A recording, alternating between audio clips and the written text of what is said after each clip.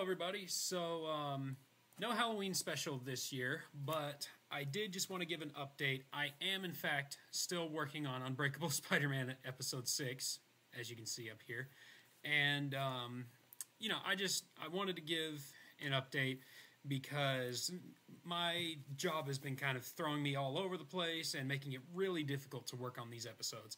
I, I have been as much as I can, but I've only gotten up to, um, what is this? Hang on. I've only gotten up to about 18 different uh, little mini, yeah, 18 little uh, clips here.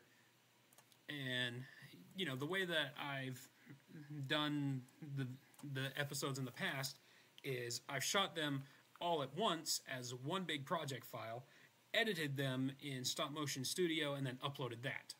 But this time I've decided to break it up by parts of a scene.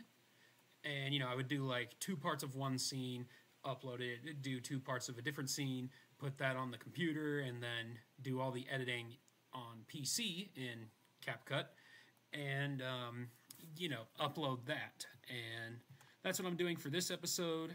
And you can see there's a lot of work that already has gone into it, but it's still not fully done. I'm only about two, eh, eh, like the three or the third way mark with the animation, and you know, way before that in the editing.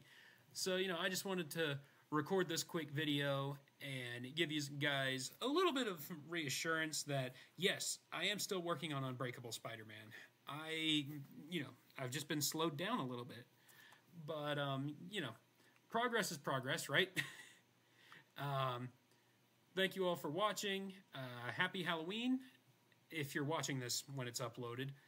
Um, and that's it for today's video. Mm, bye.